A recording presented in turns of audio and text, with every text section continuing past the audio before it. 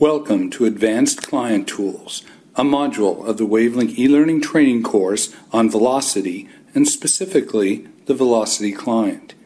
Each time you want to move to the next slide, click anywhere on the slide to continue or click on the forward arrow as shown here. The Advanced Client Tools module will guide you through some of the lesser known features and configurations that can make Velocity users even more productive. To start, we'll take a look at the Velocity Client main menu. Next, we will look at the host context menu. After that, we will look at how to swap keyboards if your screen has multiple keyboards configured. And last, we will wade through the myriad of configuration options available per host connection. The Velocity Client main menu drives many things when connected to a Velocity session.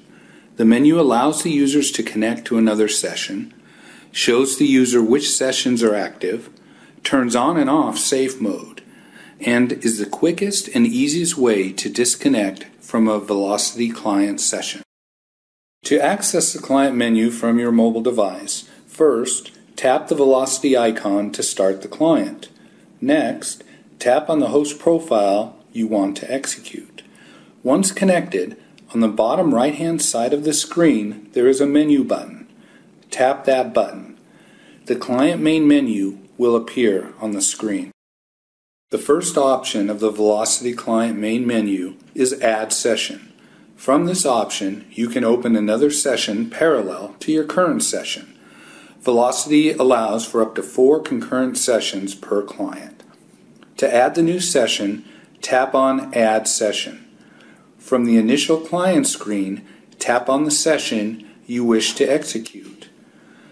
The session connects and is now running concurrent with the previous session, with the new session now taking focus. The client main menu also displays all sessions active on the client. On the last screen, we selected a new session concurrent with our previous session. Now, if we tap the menu on the lower right of the screen, we bring up the client main menu again. All currently active sessions show on the menu.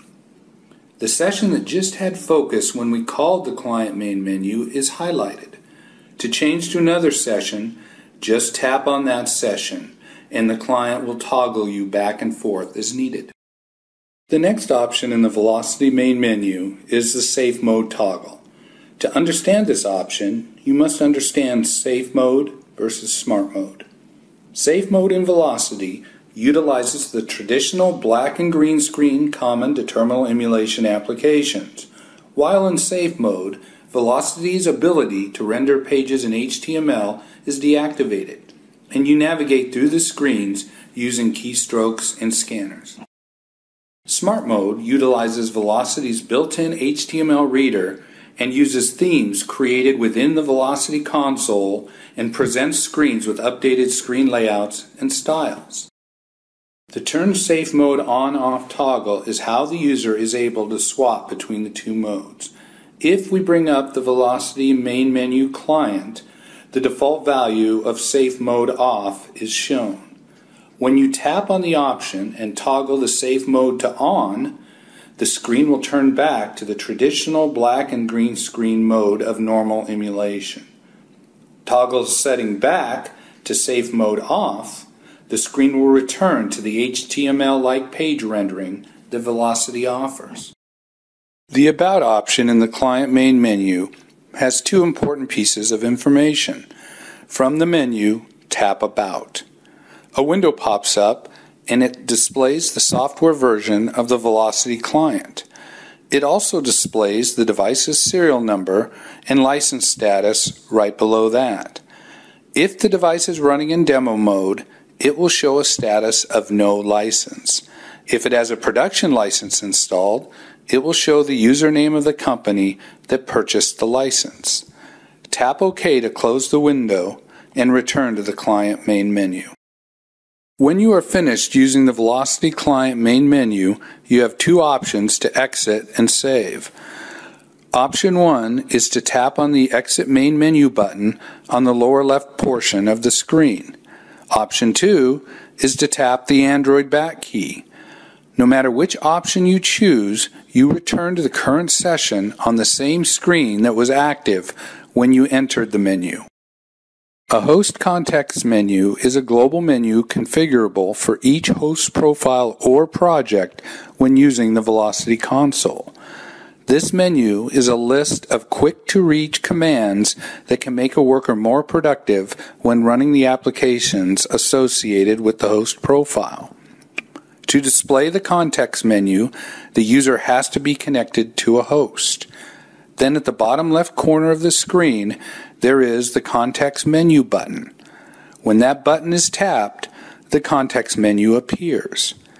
If a menu option is tapped, for example, the back menu option, a command configured for that button to go back a screen is executed.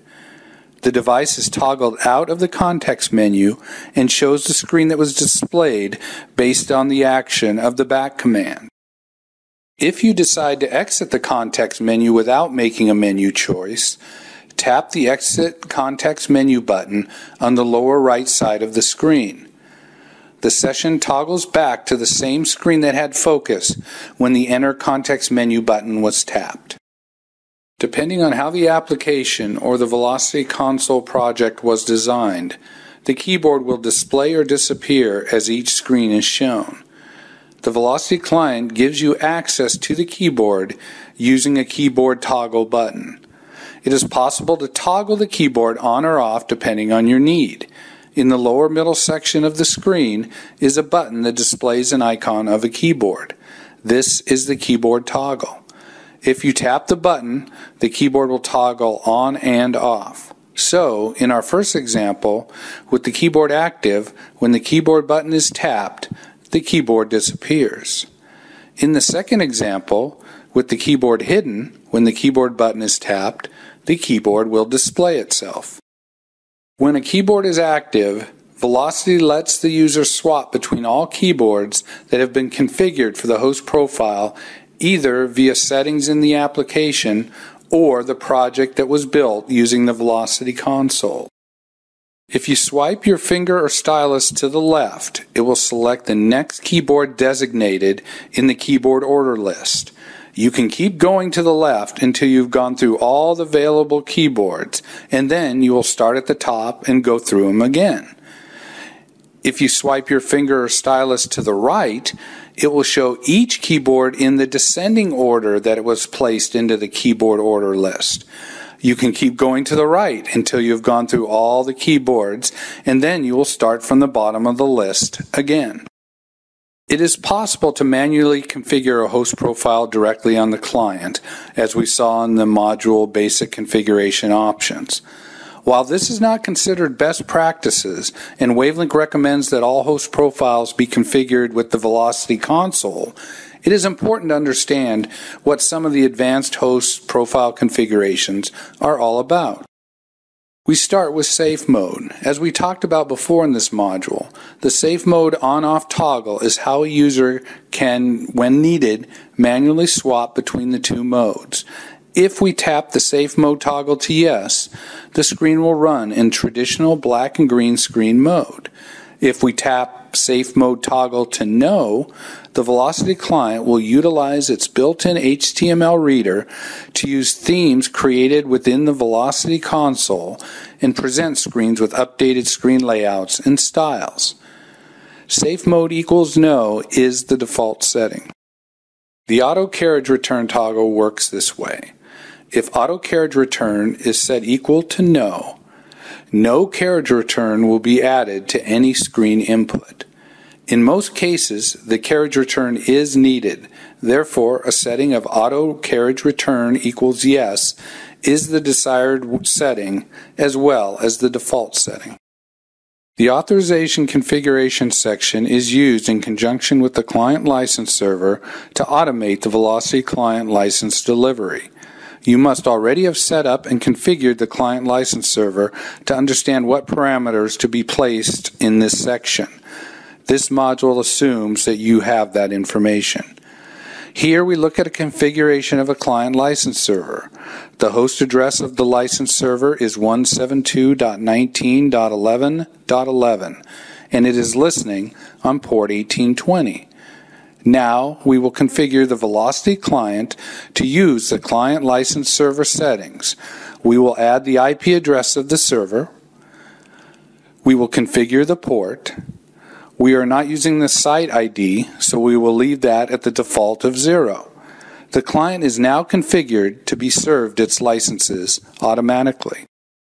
The Enable Logging toggle allows for information to be gathered about a Velocity client connection. By default, Enable Logging is set to No, and this is considered best practice. But when detailed information about the session is needed, log files can be accumulated. To enable logging, swipe the Enable Logging button to Yes. Next, set the log file max size to a size that will capture all the data needed. By default, the file size is 1024 bytes or 1K. The files are stored on the SD card under the file name com.wavelink.velocity. All connection information is logged to a file called velocity underscore session.log. When the max file size is exceeded for the session, all data is copied to the velocity underscore session.bak file. The original session log is wiped and data begins to flow back into the current file. In this current configuration, 2K of current log data will be stored on the client at any one time. There are three other additional configurations available to be manually configured on the device. These settings are normal enterprise-wide settings and are done by a system administrator. They will be discussed in detail when we talk about configuring host profiles with the Velocity console. In brief, those configurations are SSH configuration. Use SSH to encrypt the information set to the host. There is no additional software for SSH on the device, but the host must be configured for SSH. When this option is selected, the port is changed to 22. Next is the SSL configuration. Use SSL to encrypt the information sent to the host. There is no additional software for SSL needed on the device, but the host must be configured for SSL. When this option is selected, the port is changed to 992.